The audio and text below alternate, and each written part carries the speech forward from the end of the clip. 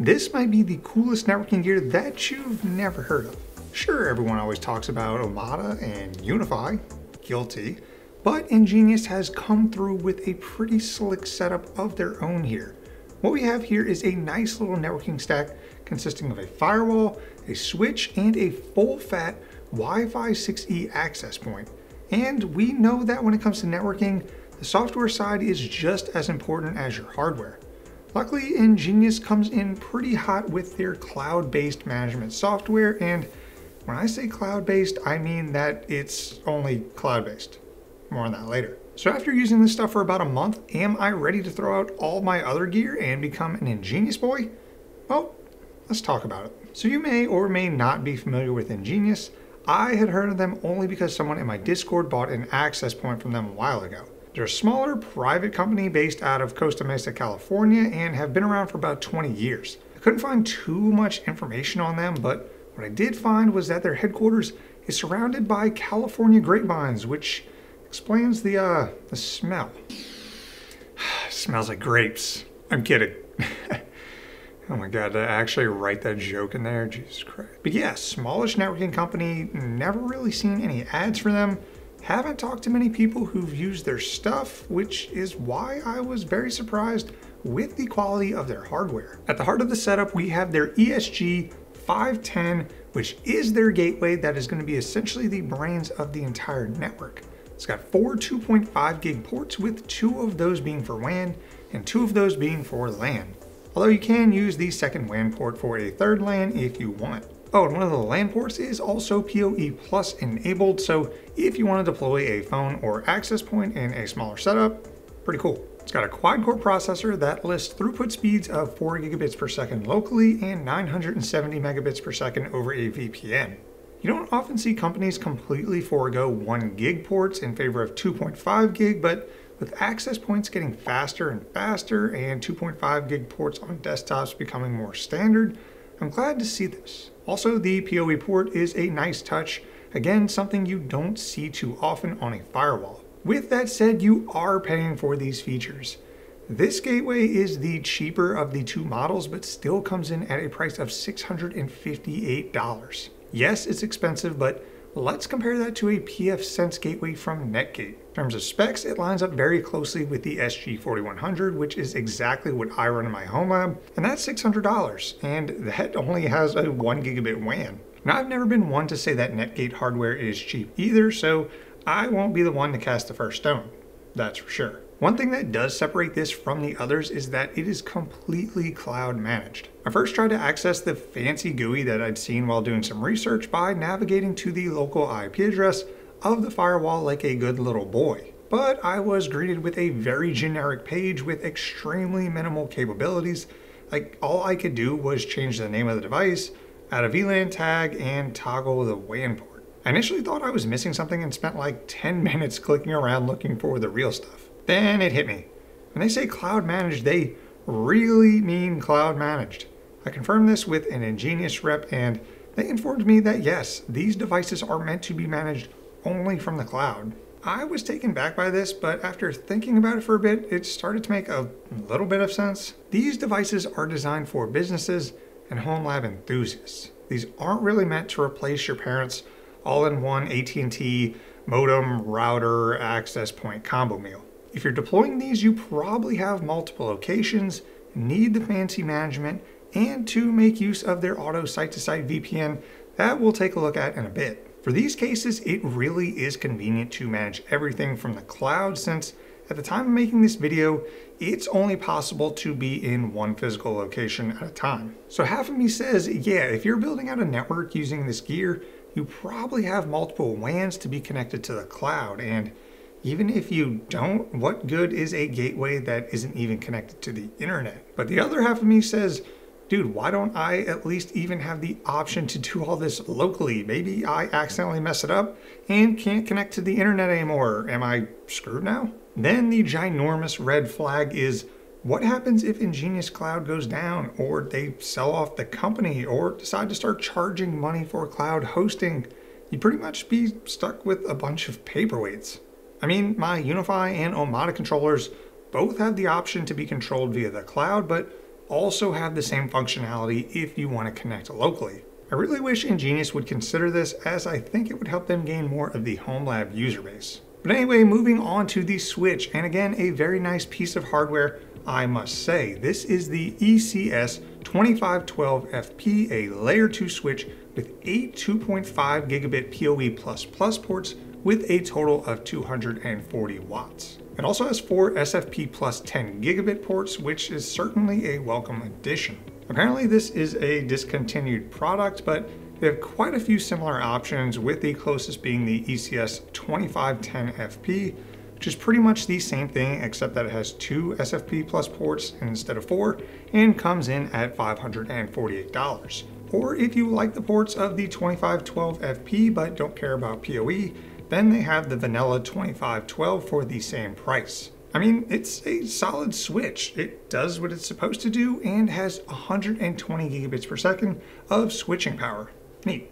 It does have a slightly audible fan if you were wondering. It's definitely not loud or high pitched, so it doesn't bother me at all, but I figured I'd let you guys know. Oh, and remember how the firewall had like no options in the local UI? Well, this has a bunch of options. What? This only made me more confused and I asked my EnGenius contact about this. He said that the people who deployed these wanted local options, but they are moving to the cloud-based approach with these in future releases. Like, yeah, of course people want local options. Anyway, yeah, it's a solid switch and you're getting eight 2.5 gigabit PoE ports and four 10 gigabit ports. It's actually a reasonable price. All right, time for the last piece of the networking puzzle and that is the access point. Let's round this out with the ECW 336. This is an absolute beast of an access point. It's a tri-band Wi-Fi 6E 4x4 access point that has 8.4 gigabits of throughput power. At 160 megahertz with a 4x4 client, you have a theoretical max speed of 4.8 gigabits per second to a single device. But Brett, I bet that thing only has a 2.5 gigaport, so checkmate nerd. Wrong. This dude has a 5 gig PoE port. So if you can find a 5 gig PoE switch or probably 10 gig, then boom, 5 gigabits per second of steamy network packets coming down the pipe. Sure, you could go with 4.8 gig between two Wi-Fi clients, but the problem with that is that, well, that's Wi-Fi. So you're never gonna get the theoretical max speeds. And two, 4x4 Wi-Fi 6E clients don't really exist, or I, I don't know of any. I tested this guy out by connecting it to my Switch and then running a 2.5 gig connection to my PC and connecting to a 6 gigahertz Wi-Fi 6E band from a 2x2 client, which has a theoretical max speed of 2.4 gigabits per second. Running iPerf 3, I saw max speeds of just around 2 gigabits per second, most tests averaging out around 1.7. That's still insanely fast and faster than any Wi-Fi device I've used personally. So if you want fast Wi-Fi speeds, this access point won't disappoint. Just make sure you have a compatible Wi-Fi 6E client setup and a dedicated 6 GHz SSID channel. Oh, and this dude comes in at $768, which I think is way too much for a home user. But if you're a business that's dealing with hundreds of devices in a single area and need that 4x4 with 8.4 gigabits of throughput, then this might not actually be a bad price. But am I throwing these up around my house? I mean, EnGenius wants to send me a bunch, but if I'm talking with my wallet, probably not. So in terms of hardware, it's really nice. Kind of expensive, but seems like some premium stuff. They do plan on releasing more hardware in the future at various price points, so I'd love to do a cheap EnGenius setup in the future with some of their priced for home user devices. Let me know down in the comments if you'd like to see that. But as I mentioned before, half of the networking war may be fought down in the trenches with the hardware, but the other half is happening up in the sky with your software. And to be more specific, cloud. The EnGenius Cloud is meant to give you full control over your entire network from anywhere in the world. Let's jump into it. All right, here we are in the EnGenius dashboard, and as you can see, it is not just another UniFi knockoff. Seems to be its own software, and I can applaud them for that. You can see we have one gateway, one switch, and one access point. That is correct. And we have three client devices connected, two at 5 gigahertz and one at 2.4. Scrolling down, you get more information about the throughput through your WANs on the gateway, throughput through your access points. Then if you keep going, it'll show you your top access points, top clients, and top SSIDs in terms of traffic. And then at the bottom, we get our top applications and top operating systems. Personally, um, I can see the top applications being useful if you want to see what's sucking down all of your bandwidth. And for me, that seems to be uh, Windows Update. Shocking. The top device operating systems, um, it's cool, but I personally don't really know what I would use that for. Then going over here into the sidebar, we can manage our access points, switches, and gateway by clicking on each of them respectively. Let's dive into the access points and see what we got. So obviously it's going to list our access points. We only have one and you can see a bunch of information about them here. But if you want even more, you can hover over the device and click on details. From here, you have a lot of options and a lot of data. It's actually pretty cool. So at the top, you have all of your information about the device, and this is gonna be very similar for both the gateway and the switch as well. But yeah, you can see all the stats on the device. We can even turn off the LED light. So unlock that. And if we turn the lights off, so yeah, no, no more LEDs. Scrolling down, you have information on your SSIDs. Again, more throughput information. Uh, you can change the radio settings, which I actually had to go in here and do. So for example, for the six gigahertz network, I went in and upped the target power and um, went in and modified the channel width because by default it was on 80 and we want that full fat 160. So this is where I went in to make that change. Then some mesh information, some DHCP information. If you want to change that to static, you can. And you can even add a photo. Uh, it's for if you're deploying like 100 of these for a business and you want a photo of where it is, it would be convenient to uh, have that in here. So yeah, pretty standard stuff here, but one thing that stuck out was this VIP.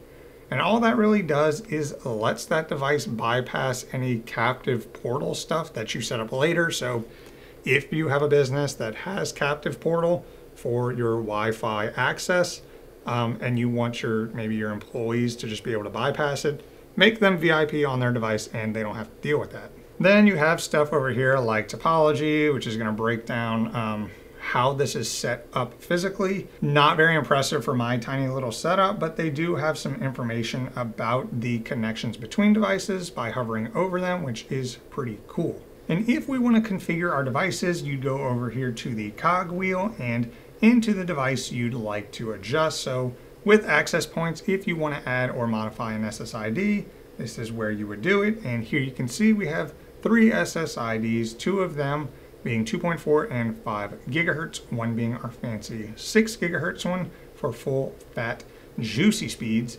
And one thing they advertise quite a bit is their site-to-site -site VPN and to access this, you would go into Gateway and Site-to-Site VPN. From here, you have essentially two options for doing site-to-site. -site. Now, this is going to require two separate gateways, obviously. Um, you don't technically need two EnGenius ones. If you scroll down, you can see you can add a non-EnGenius, EnGenius, a non-EnGenius gateway. But if you have two, um, it's quite easy. You can select a type there's Mesh VPN, and then there's Hub and Spoke, which looks like this. I, I kind of get it, but Mesh makes more sense to me. And then it will list your different hubs. So then underneath, you can select which interfaces you want to be able to communicate across that site to site. So for example, if we want our main LAN to, you would select it here. But if we don't, maybe we only want our IoT to be able to go site to site. Don't know why you'd want that, but you, you can do it. NAT traversal is going to be how these devices are going to communicate with each other. Now, automatically and done by EnGenius and the cloud is a pro feature, kind of annoying, but for most people, you're going to do manual, set your public IP and your port, and assuming you have port forwarding on, then this will work. They will connect to each other right away, and bada bing, bada boom, you have an automatic site-to-site -site VPN. Now, I'm going to cover this again in an in-depth video later, but um, I just wanted to show that feature off. And of course, if you're using this gateway as your main firewall, you can go into your gateway settings, click on firewall, and from here you have all of your standard stuff, outbound rules, port forwarding, NATing, and allowed services, which um, I'm not too familiar with, but uh, good thing they have this little hover over helper, which says allowed services to access the ESG. Thank you. But yeah, that's a quick walkthrough of the software. Again, um, I'm gonna have to create another dedicated video to go more in depth. And when that video is created, I'll link it down in the description. But uh, yeah, back to the hardware. So overall, what are my thoughts on EnGenius now that I had some alone time with them? Honestly, I'm quite impressed so far. Their hardware is rock solid with features that bring some uniqueness to a very saturated market. As I expressed, some of their stuff is quite expensive, but I don't mind paying a bit more if I'm getting a quality product. If you're looking for a more affordable solution for your networking setup, um, especially if you're deploying this in your home, then this probably isn't your jam. In terms of their software solution, I actually really liked it. Seems like they really put effort into designing a software to be intuitive enough for the average nerd to use, but not strip out necessary features that are necessary. Their site-to-site -site VPN implementation is really cool and further shows that this stuff is designed for businesses and enthusiasts, and that's okay. I mean, it's clearly not perfect, as I mentioned, you can only access this management system from the cloud and Okay, so I wanted to clarify one thing, and that is that EnGenius does have an on-premises management network controller, but it's for their Fit line, which is like more home user based, uh, kind of like I mentioned before. But I want it for the actual fancy stuff, for actual business users and high-end stuff. Why it's only on this Fit line uh, I'm not exactly sure, but um, yeah, I'd, I'd like to see that for the other stuff. If EnGenius can pivot on this and at least allow the option to host a controller locally like UniFi or Omada, then I think we'd start seeing them creep a bit more into the home lab market. Let me know what you think down in the comments, but that's all I have for you today. If you enjoyed this video, then drop a like. Subscribe if you want to see more content like this as I have some really cool networking stuff coming out. I want to give a huge shout out to my YouTube members and my Patreons. You guys are my super amazing network software that is kind of only accessible in the cloud because locally would be kind of weird, but I'm okay with that. You guys rock my socks. And if you're still watching, you're a real one. Thank you so much, and I'll see you in the next one.